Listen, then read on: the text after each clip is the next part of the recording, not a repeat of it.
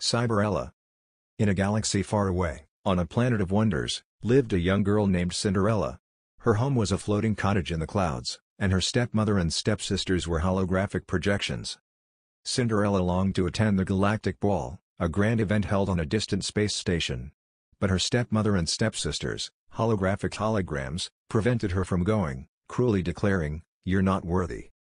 Feeling heartbroken, Cinderella's robotic pet, Cosmo, tried to cheer her up. Don't worry, Cinderella. I'll find a way, he beeped with determination. Suddenly, a bright beam of light engulfed the room, and a holographic fairy godmother appeared. Greetings, Cinderella. I'm Halley, your fairy AI godmother. I'm here to make your dreams come true, she said with a warm smile. With a flick of her virtual fingers, Halley transformed Cinderella's simple attire into an elegant spacesuit adorned with shimmering stars. She also summoned a sleek spaceship carriage to take Cinderella to the galactic ball. Excitement filled the air as Cinderella soared through the cosmos, ready to shine like a supernova. At the galactic ball, she caught the attention of Prince Orion, a dashing and charming space prince. They danced among the stars, their hearts connected like satellites in orbit. Cinderella felt like she was floating in zero gravity, her dreams taking flight. But as the night ticked away, a holographic clock projected the time, reminding her of Halley's warning. Remember, my dear, your enchantment will expire at the stroke of midnight.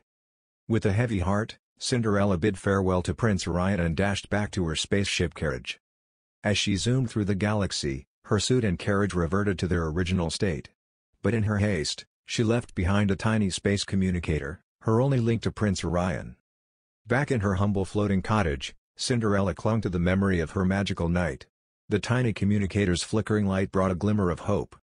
Prince Orion, determined to find the mysterious space beauty, used all the resources of his star kingdom.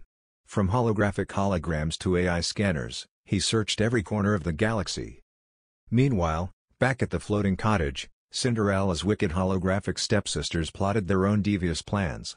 They schemed to hack into the royal database, aiming to take control of the kingdom's technology. But Cosmo, Cinderella's loyal robotic companion, detected their intentions and alerted the kingdom's cybersecurity team.